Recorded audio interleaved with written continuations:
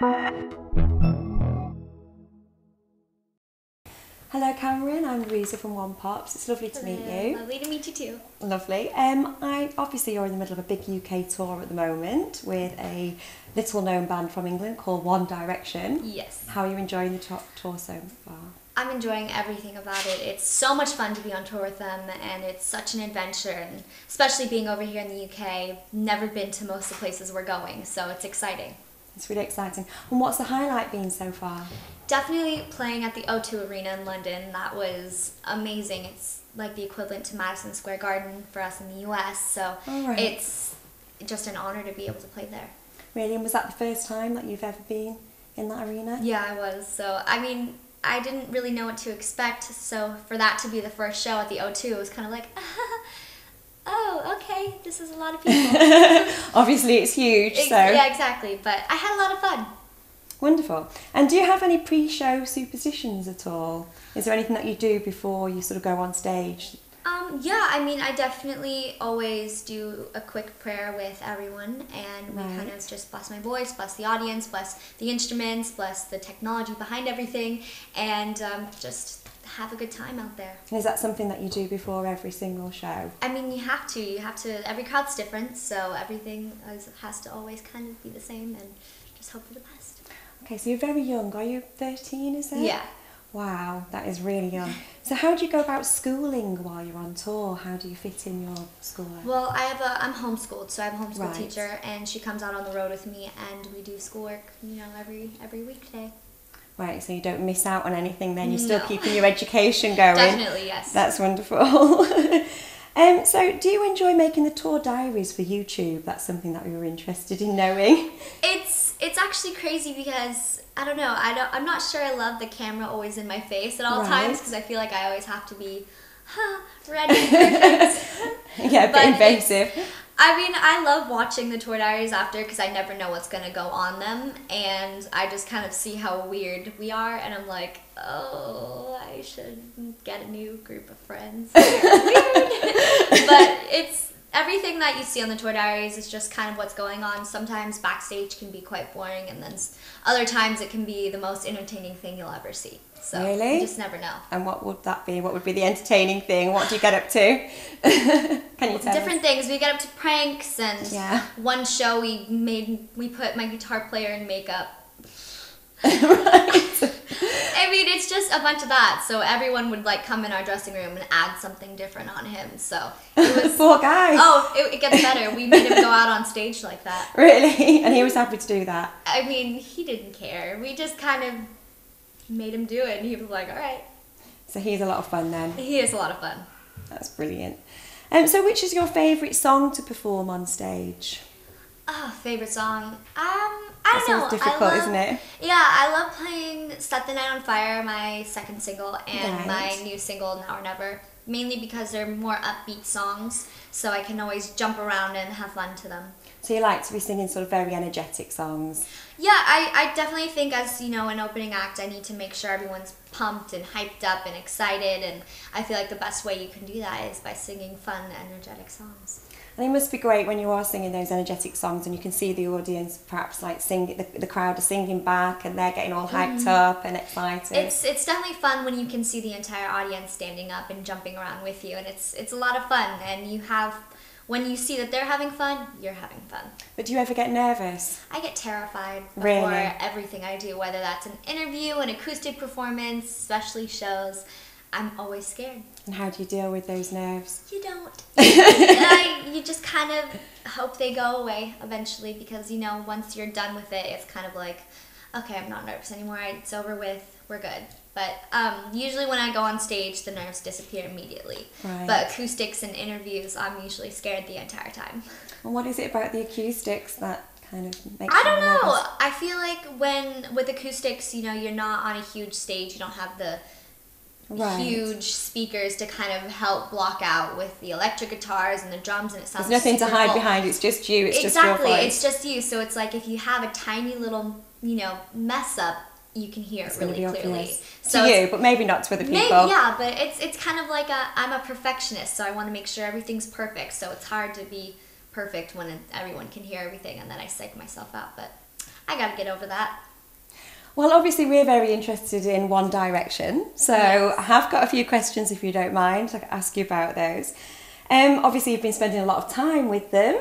Probably uh, a lot of girls are very jealous of you. Can I ask who your favourite is? I don't have a favorite. I knew you were going to say that. it's true. It's true. I don't really have a favorite. I like them all. I think they're all really sweet and different in every way, and they're all really cool guys. All of them, All every of single them. one. Every single one. Okay. And what's your favourite One Direction song? Mm, I have a lot of favorite One Direction songs, but um, I have a top two favorite. One of their songs called "Rock Me" off the new album, and another song called "Summer Love." Okay, and what is it about those songs that you. I don't know. I feel like Summer Love just gives me this really cool feeling. I love the vocals on the chorus, and Rock Me is just a really fun kind of like We Will Rock You beat. So, I mean, what's not to like about it? It's fun. Of course. So, have you got any juicy gossip that you could possibly Juicy share with us? Something. Please don't be shy about this.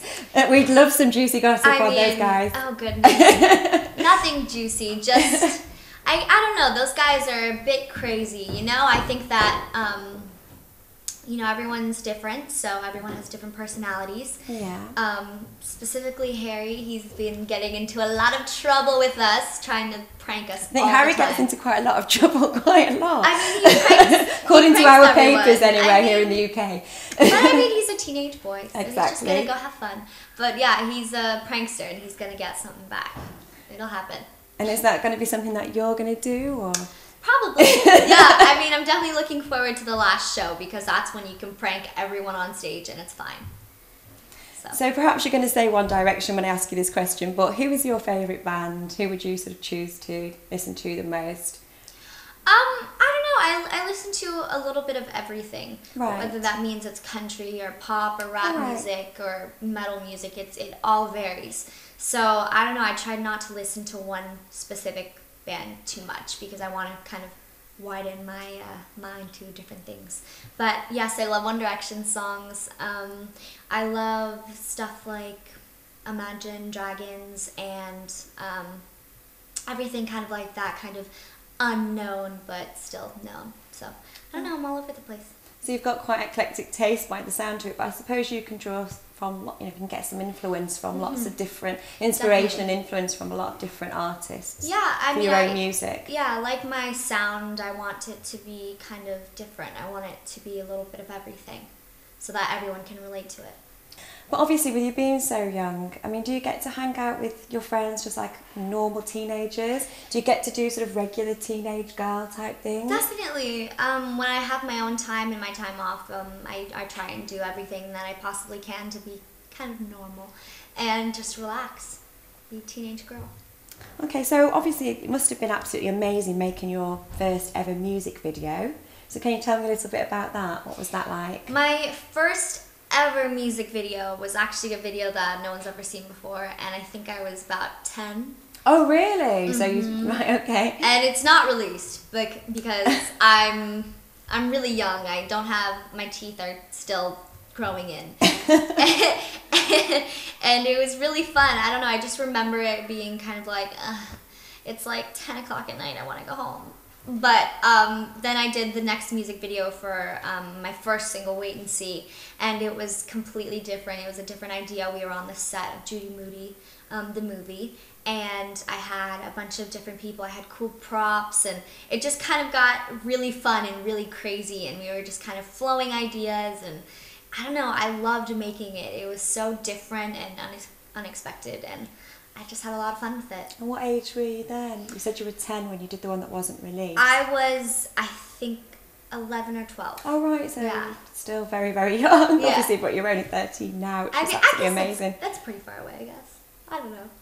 I don't know. I, I've definitely changed a lot since then, so I feel like that's kind of why I look back at it so like I was so young. But um, I don't know. It was it was a good video. It was a lot of fun. So if you could duet with anybody, who would you choose to duet with? Is that something you've ever thought about? Yeah, I get this. I get asked this question all the time, but I, I feel like I never have a straight answer. Right. Um, because it always constantly changes. I want to work with so many different artists, uh, whether that means it's Beyonce or Wow. someone like the band Fun, or you know, it just kind of changes. Demi Lovato. It's it's everything. I want to work with everyone. I guess maybe. Do you think that might be on the cards in the future? Is that I hope so. I mean, I would love to do some featuring things with other people, and um, I don't know. Maybe you'll hear some collaborations in a bit. Hmm, you never know. You never know. So, if you had to listen to one song for the rest of your life, and that's never going to happen, so it's quite a surreal question. But if that, if you had to choose one song, what would it be? It would be "Lessons in Love" by Neon Trees. Oh, really? And why is that? It's one of my favorite songs right now. Um, it's something that always puts me in a great mood every time I hear it, and I feel like I can't hear it enough to where I'm kind of like, all right, I'm over this song. So I don't know. It always it gives me this amazing, you know, kind of chilled vibe. So I don't know. A feel I like good it. song. Yeah, definitely feel good song. And if you could meet anyone in the world, dead or alive, who would it be and what would you say to them? Um, I can meet anyone in the world, dead or alive. That's quite a difficult Hmm. question, really, isn't it, off the top of your head? um, I don't know. I know it's Musical or Anybody, anybody at all. Just take your pick. oh, good. Somebody alive, somebody dead. Okay, someone dead. I would love to meet Shakespeare. Right, and I would say, what makes you write in such a language where no one can understand it in the future? Very good Um, question. and then um, alive, I would love to meet Beyonce Right. and you know just kind of ask her and just ask her advice about you know performing and how she continues to just rule the world in her amazingness. well, perhaps you will get to meet her when you're doing your duet in think- collaboration I with think her in the future. amazing. Exactly. So, who's the funniest person that you follow on Twitter? Funniest person I follow on Twitter. Um, that Will Ferrell comedy um, Oh, Twitter, right, Phil yeah. Werrell. Mm-hmm. I die wa- like reading all the tweets, and I, I'll go on Instagram because they have their own Instagram page, and it's just their their tweets, and it's I don't know, they just say the funniest thing, and they're so random that it's perfect, and it just makes it that much more funny. And it always makes you laugh. Always. Yeah, that's good. Well, apparently you've, you're fast getting a lot of followers, and you've got just over three hundred and thirty thousand at the moment. Who would you like to follow you the most? Oh goodness, who would I like to follow me? Well, Beyonce. I take it that you're a Beyonce fan. I, I can see a theme am. here. Yes.